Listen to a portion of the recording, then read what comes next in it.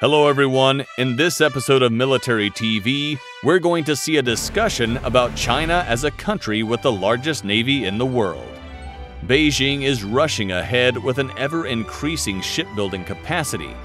Can Washington at least keep its technological edge? Before watching this video, don't forget to leave your comment below if you have any suggestions of certain topics to discuss in the next videos. The Chinese Navy is already the largest in the world with more than 350 ships, including a fast-growing fleet of destroyers, carriers, and submarines. This reality continues to raise concern and make an impression upon Pentagon and Navy weapons developers. According to the Pentagon, the People's Liberation Army Navy PLAN has 350 Battle Force ships as opposed to the U.S. Navy's 293 ships. While the U.S. Navy is far larger by tonnage, that advantage could be erased given China's frantic shipbuilding schedule. But according to the Pentagon's latest reports on Chinese military power, released Tuesday, September 2, 2020, the People's Liberation Army Navy PLAN is now the largest navy in the world, with an overall battle force of approximately 350 ships and submarines, whereas the U.S. Navy currently has 293 ships. By the end of 2020, the Chinese Navy will have 360 vessels, and the number is set to keep going up, said Chad Sbragia, Deputy Assistant Defense Secretary for China. There is certainly more to naval power than ship counts, he said in a call with reporters Tuesday. This is a long term challenge, and it's not only demarcated by a single metric of number of vessels. While China's growing fleet is already much larger than the U.S. Navy's 293 ships, some Navy leaders and observers make the point that pure numbers may not ultimately be the measure of superiority. The Pentagon report does make this point, yet with the clear caveat that China's emerging fleet size is indeed concerning. There is certainly more to naval power than ship counts, total counts of the Chinese vessels. There's tonnage. But for and but, I would also draw your attention to weapon systems and it's important to highlight the Chinese shipbuilding advantages in terms of its size of fleet, the report states. China's internal shipbuilding apparatus is, according to the report, concerning.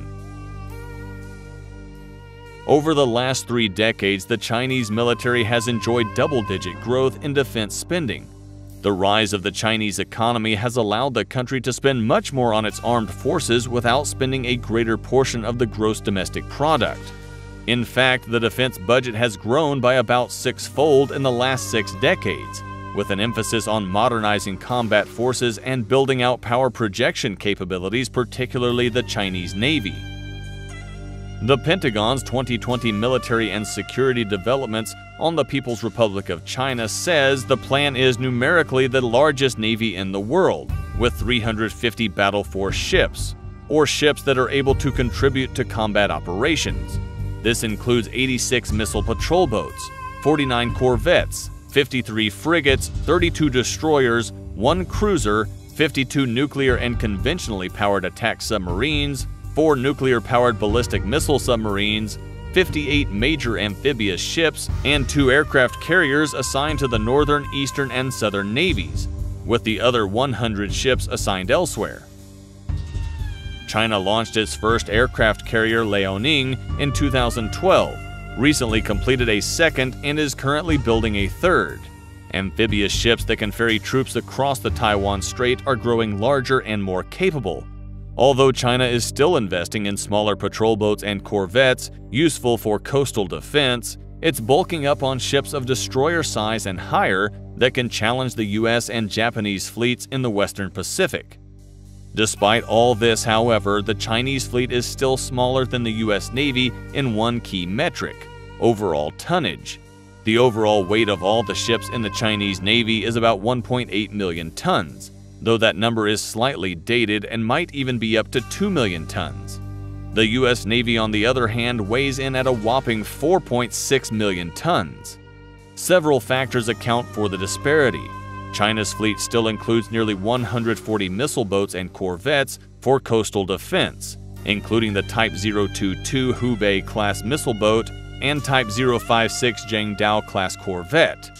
The U.S., surrounded by friendly neighbors and thousands of miles from any conceivable adversary, doesn't even bother with coastal defense ships.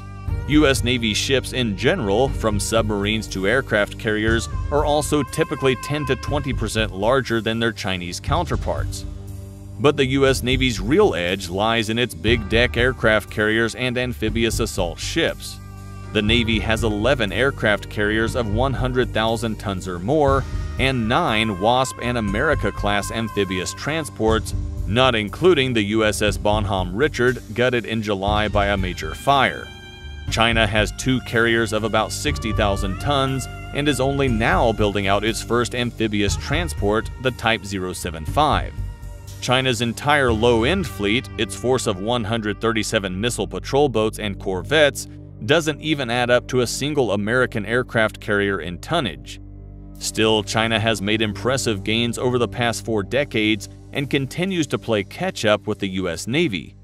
The PLAN has fielded two aircraft carriers and will likely build a force of six to eight, which should add up to a considerable narrowing of the tonnage gap.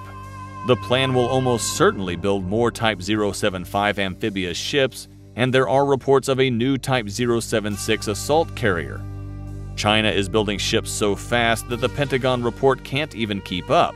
The data in the new report is eight months old, but by late last month, China had launched an additional two new Type 052D destroyers and two Type 055 cruisers. China may never catch up with the US Navy. The country's economy is expected to slow as demographics and socioeconomic reforms will slow defense spending. But China may not even need to keep pace.